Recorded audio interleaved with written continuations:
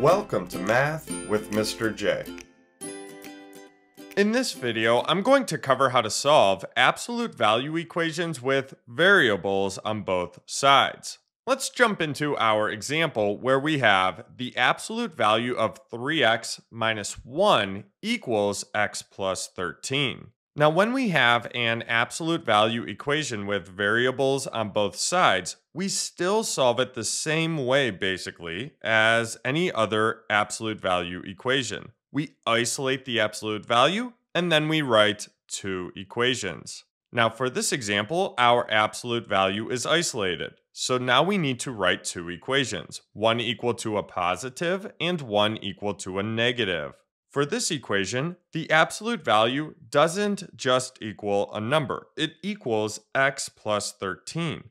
Don't let that hold you up. We can still write two equations, one equal to a positive and one equal to a negative. So we have 3x minus 1 equals x plus 13. That's our positive equation. Or 3x minus 1 equals negative, and then we have x plus 13. Now you'll notice I have x plus 13 within parentheses, and that negative goes on the outside of the parentheses. That's because it's applied to everything on that side of the equation. So make sure to use parentheses and a negative outside of the parentheses. Again, that way the negative is applied to everything on that side of the equation.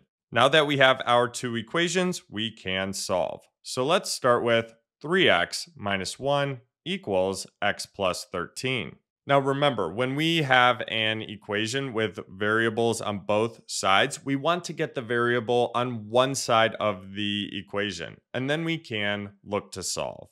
Let's start by getting the variable on one side of the equation. So let's subtract x from the right side. That means we need to subtract x from the left side as well. So looking at the right side, these x's cancel each other out. So we are left with 13. And then on the left side, 3x minus x, we can subtract those like terms. That gives us 2x. And then we have minus 1. Now we have 2x minus 1 equals 13. So we need to look to isolate that variable of x. Let's undo the subtraction now. So let's add 1 to the left side.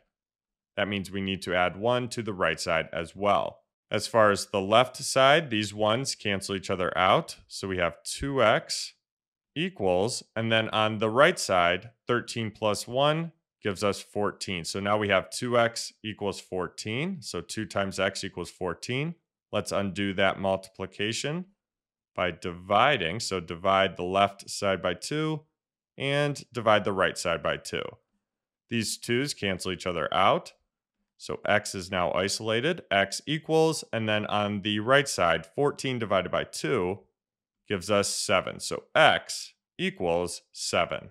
Now let's solve our negative equation. And the first thing that we need to do is distribute the negative to what's inside the parentheses. So to x and 13. Now, as far as distributing this negative, let's think of this as negative 1. So we are distributing negative 1 to x and 13. So negative 1 times x and negative 1 times 13.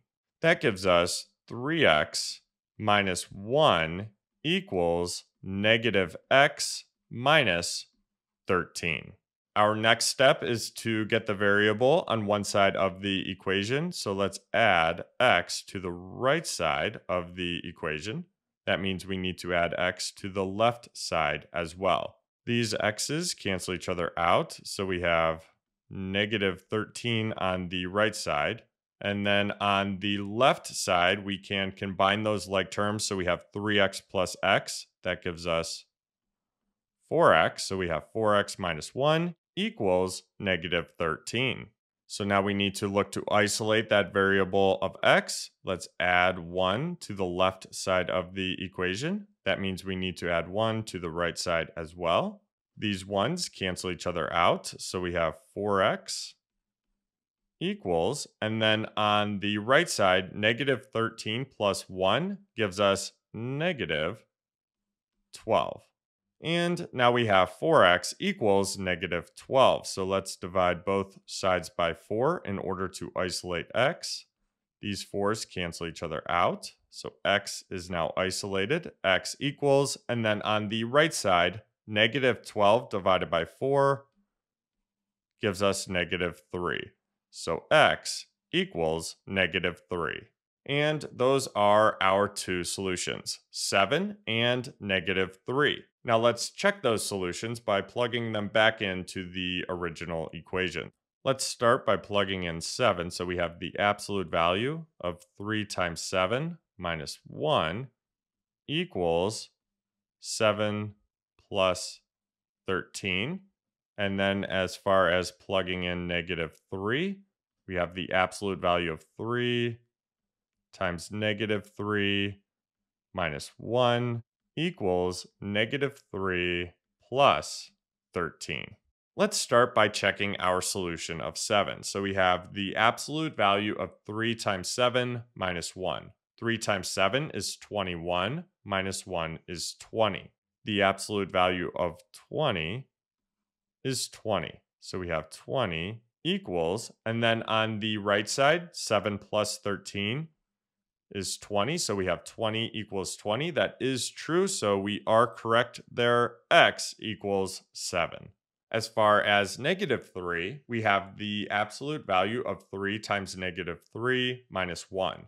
3 times negative 3 is negative 9, minus 1 gives us negative 10. The absolute value of negative 10 is 10. As far as the right side, we have negative 3 plus 13. That equals 10 as well. So we have 10 equals 10, which is true. So we are correct there as well. X equals negative 3. So our two solutions, 7 and negative 3.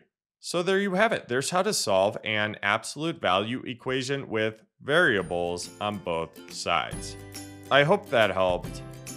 Thanks so much for watching. Until next time, peace.